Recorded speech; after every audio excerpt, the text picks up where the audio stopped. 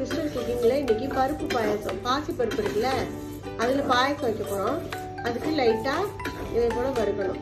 பாசி பருப்பு இப்போ வறுக்கிறேன்.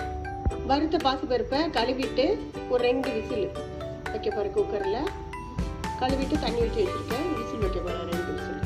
தேங்காய் ஒரு மூடி எடுத்து நல்லா அரைச்சி பால் புளிஞ்சு வச்சுருக்கேன். இப்போது தேவையான அளவு நெய் ஊற்றி முந்திரி பருப்பு. முந்திரி பருப்பு திராட்சையும் கழுவிட்டு பொரிக்கிறேன்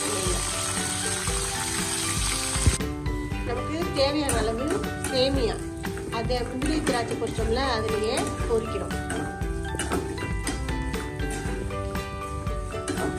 மறுபடிச்சு நமக்கு சேமியா தேவைன்னா போட்டுக்கலாம் இல்லாட்டி வெறும் பருப்பை விசில் போடுறோன்னா இதில் ஊற்றி கொதிக்க வைக்க வேண்டியதான் இப்போ கொஞ்சோண்டு சேமியா போடுறதுனால இந்த தண்ணி சூ வெந்நீர் சூடு வந்துருச்சு வெள்ளம். வெள்ளம் நல்லா கொதிச்சு வருது இதில் சேமியா போட போகிறோம் இப்போ சேமியா போட்டாச்சு அந்த சர்க்கரை தண்ணியில். அது செத்தவ நேரம் வேகட்டும்.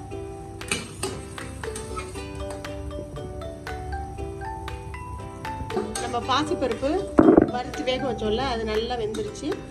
இந்த சேமியா வந்தோன்னா அதில் கலந்து வேக வச்ச பருப்பை அதில் அப்படியே கலந்துட வேண்டியதான் சேமியாவும் அந்த இதில் ஹீட்லேயே வெந்துடும்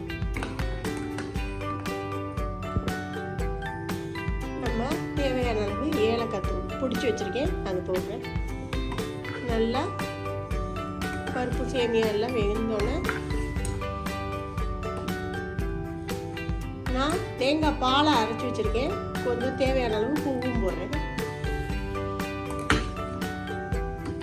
இது பருப்பு அந்த பருப்பு வேக வைக்கையில தேங்காய் பால்லே வேக வைப்பாங்க.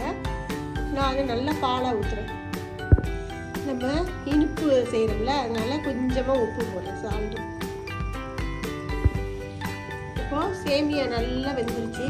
நம்ம ஒரு பவுல் எடுத்து வச்சுருக்கோம். ஒரு மூணு தேங்காய் அதை பருப்பு பாயசம் ரெடி சூடான சுவையான பருப்பு பாயசம் ரெடி இது போல் வச்சு பாருங்கள் உங்களுக்கு பிடிச்சிச்சின்னா லைக் பண்ணுங்கள் ஷேர் பண்ணுங்கள் சப்ஸ்கிரைப் பண்ணுங்கள் சிஸ்டர் குக்கிங்கில் சூடான சுவையான பாசிப்பருப்பு பாயசம் வச்சுருக்கோம்.